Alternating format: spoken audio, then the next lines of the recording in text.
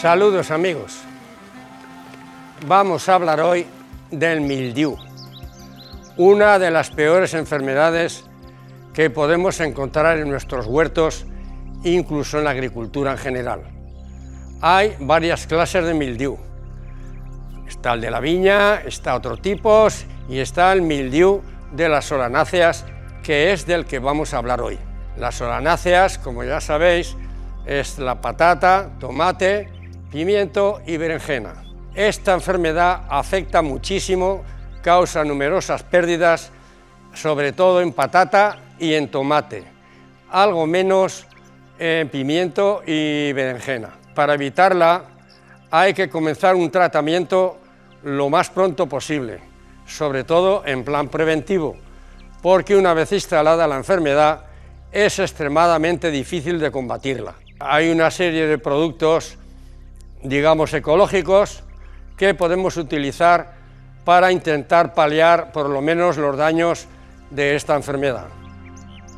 El mildiu se reproduce por esporas, que suelen hibernar en los tubérculos que quedan en la tierra de la cosecha anterior o en malezas y residuos de cultivos anteriores.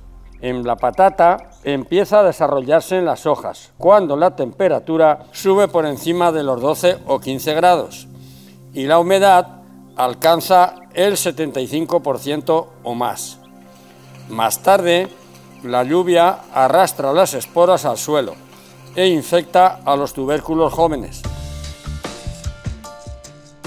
Inicialmente, comienza a desarrollarse en las hojas y tallos unas manchas oscuras como de color marrón rojizo, para terminar secándose y la planta termina por morir.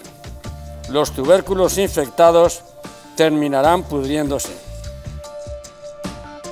Con toda probabilidad, a medida que la temperatura va subiendo y la humedad alcanza el 80 o 90%, de la patata pasará a infectar el tomate. La infección comienza en las hojas y ramas más bajas, donde las hojas adquieren una tonalidad amarillenta, marrón, para terminar secándose.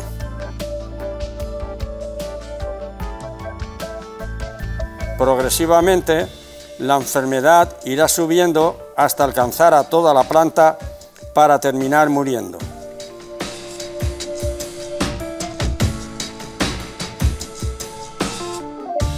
Es por eso que en el momento que veamos que las primeras hojas comienzan a amarillear, hay que eliminarlas inmediatamente y tirarlas a un contenedor. Si la infestación es muy fuerte, no tenemos que dudar en arrancar la planta entera. Y después de terminar, hay que desinfectar la herramienta que hayamos utilizado para el corte, para que no nos transmita la enfermedad a otras plantas. Deberemos tener cuidado también de retirar las ramas que tocan el suelo para evitar la propagación de las esporas. Hay alguna variedad de tomate que es más resistente que otras, como la variedad Kumato. Sin embargo, las variedades de corazón de buey, tomate rosa y cherry son más sensibles a esta enfermedad. El mildiu es una enfermedad extraordinariamente difícil de combatir, por no decir imposible. Conviene tratar muy pronto preventivamente, para por lo menos frenar el avance del hongo y minimizar los daños.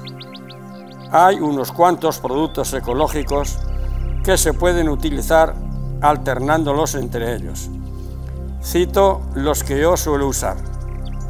Oxicloruro de cobre, caldo bordelés, decocción de cola de caballo, bicarbonato potásico, aceite de neem, leche desnatada, mildiu stop y milagron plus. Como vemos, hay materia suficiente para no tener que utilizar productos químicos. En ecológico, suelo comenzar las fumigaciones con decocción de cola de caballo una vez cada 8 o 10 días si aparecen síntomas. La dosis es de un litro de caldo por 3 litros de agua. Alterno estas fumigaciones con aceite de neem, más bicarbonato potásico. El NIM 5 mililitros por litro de agua y el bicarbonato potásico 3 mililitros por litro de agua. Entre medio doy alguna fumigación con leche desnatada. Como prácticas culturales hay que tener en cuenta lo siguiente. Evitar el riego por aspersión, pues aumenta la humedad. Evitar que hojas y ramas toquen el suelo. Eliminar de inmediato las hojas y ramas infectadas.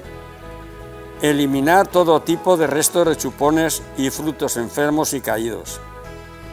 Eliminar por completo las plantas enfermas. Rotación de cultivos. No plantar tomates donde ha habido patatas el año anterior. Sabemos que son de la misma familia.